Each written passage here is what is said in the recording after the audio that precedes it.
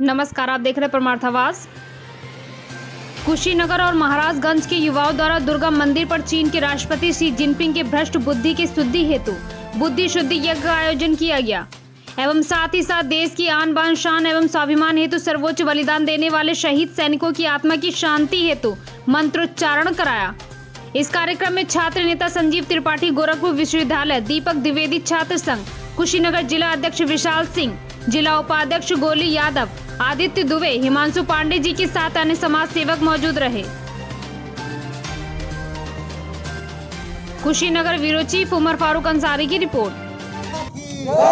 भारत माता की एक मिनट का और। साथियों, हम सबके यहाँ एकत्रीकरण का कारण यह है कि हम